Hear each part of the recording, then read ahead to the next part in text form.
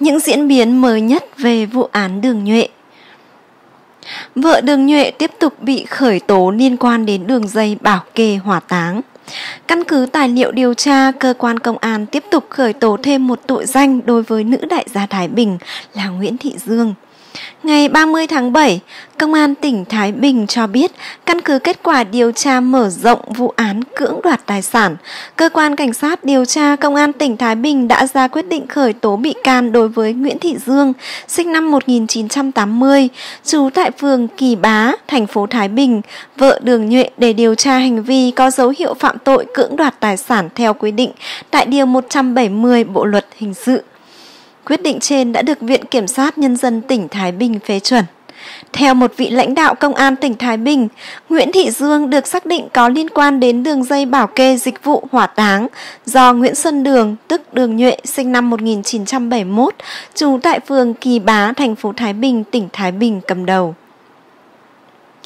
Từ tháng 12 năm 2017, bằng nhiều thủ đoạn đe dọa, gây rối và khống chế, Nguyễn Xuân Đường và đồng bọn đã buộc công ty Thành Phát, tức là công ty làm dịch vụ hỏa táng cho công ty cổ phần dịch vụ tang lễ Hoàng Long, tỉnh Nam Định phải ngừng hoạt động tại Thái Bình. Tiếp đó, Nguyễn Xuân Đường cùng Ninh Đức Lợi sinh năm 1974 trú tại phường Bồ Xuyên, thành phố Thái Bình đã tìm cách thâu tóm địa bàn bằng cách tự tuyên bố là chủ tịch cái gọi là Hiệp hội tang lễ đã được các công ty dịch vụ tang lễ thành lập từ trước nhưng không xin phép chính quyền công nhận.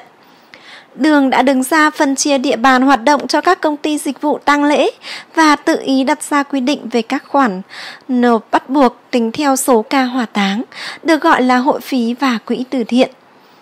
Nhưng toàn bộ số tiền đó là do đường thu và toàn quyền quyết định. Bằng các hành vi đe dọa, cưỡng ép, Đường đã bắt buộc các công ty hoạt động dịch vụ tang lễ trên địa bàn tỉnh phải chấp nhận các quy định của mình. Do lo sợ bị trả thù, các công ty này không dám tố cáo đến cơ quan chức năng về hành vi của Nguyễn Xuân Đường. Đến ngày 22 tháng 4, cơ quan cảnh sát điều tra công an tỉnh Thái Bình đã ra quyết định khởi tố vụ án, khởi tố bị can đối với Nguyễn Xuân Đường và Ninh Đức Lợi về hành vi cưỡng đoạt tài sản. Cơ quan chức năng cũng đã thực hiện lệnh bắt bị can để tạm giam với Ninh Đức Lợi vào cùng ngày. Theo nguồn thông tin trước đó, vợ chồng Nguyễn Xuân Đường tức Đường Nhuệ cùng bốn đàn em bị truy tố sau khi nhốt phụ xe trong phòng, hành hung khiến nạn nhân bị thương tích 14%.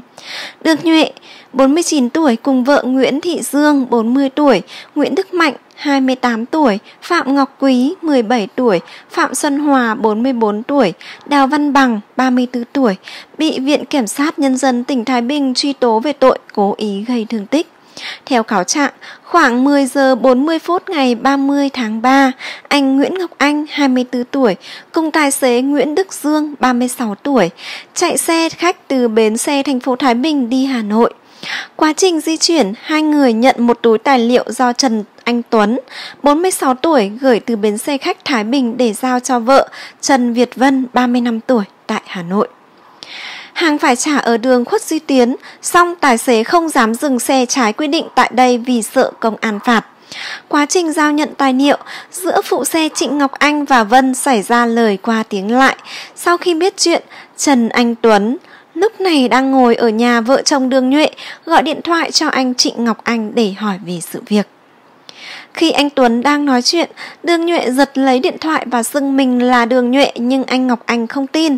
Để xác tín nhân thân, Đường Nhuệ sau đó dùng điện thoại của mình gọi lại cho phụ xe Ngọc Anh và yêu cầu anh này khi về Thái Bình phải đến nhà mình là trụ sở công ty bất động sản Đường Dương để xin lỗi. Chiều tối ngày 30 tháng 3, anh Trịnh Ngọc Anh về đến Thái Bình và được anh Phạm Văn Quang, 42 tuổi, tức là người điều hành nhà xe Phúc Cường, đưa đến nhà đường nhuệ để xin lỗi. Tại đây, phụ xe Ngọc Anh được đưa lên tầng 2 để băng nhóm này đánh hội đồng. Bị đường nhuệ đe dọa chỉ cần một cú điện thoại là phụ xe này sẽ biến mất mãi mãi khỏi đất Thái Bình. Cáo trạng xác định Mặc Ngọc Anh và những người đi cùng van xin, Dương cầm một vòng dây vụt vào mặt nạn nhân, trong lúc này Quý Bằng vẫn tiếp tục đánh. Hậu quả, anh Ngọc Anh bị vỡ xương hàm, dập xương sống mũi, thương tật 14% bị vợ chồng Đường Nhuệ và đàn em gây thương tích, anh Trịnh Ngọc Anh sau đó đã làm đơn tố cáo công an. Ngày 7 tháng 4, cơ quan cảnh sát điều tra công an tỉnh Thái Bình đã khởi tố vụ án, khởi tố bị can bắt tạm giam Nguyễn Thị Dương, Nguyễn Đức Mạnh, Phạm Ngọc Quý để điều tra hành vi cố ý gây thương tích. Ngày 9 tháng 4, Đường Nhuệ bị khởi tố bắt giam, dù đã bỏ trốn khỏi địa phương. Tiếp đó, các đàn em thân tín của Đường Nhuệ là Đào Văn Bằng và Phạm Xuân Hòa cũng lần lượt bị bắt. Viện Kiểm sát Nhân dân tỉnh Thái Bình xác định Đường Nhuệ không có mâu thuẫn với nạn nhân nhưng vẫn bắt đến nhà để cho vợ và đàn em đánh đập. Khám xét nhà của vợ chồng Đường Nhuệ, cơ quan công an thu được nhiều tài liệu trong đó có 641 tập tin chứa hình ảnh thu được từ camera an ninh nắp trong nhà Đường Nhuệ. Các tập tin này cho thấy các bị can đã hành hung anh Ngọc Anh vào khoảng 18 giờ 30 phút ngày 30 tháng 3. Trong vụ án này, Đường có vai trò chủ mưu, khởi xướng, những người khác là đồng phạm thực hiện hành tích cực. Trong quá trình điều tra, Nguyễn Thị Dương, Nguyễn Đức Mạnh, Phạm Ngọc Quý và Phạm Xuân Hòa đã thành khẩn khai báo, thừa nhận hành vi.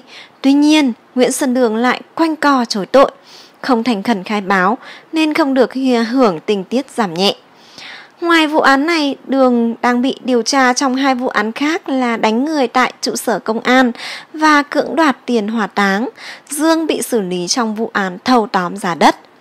Trong số này, vụ án cưỡng đoạt tiền hỏa táng đang điều tra, các vụ án còn lại đến giai đoạn truy tố. Cảm ơn cả nhà đã lắng nghe video của Pi.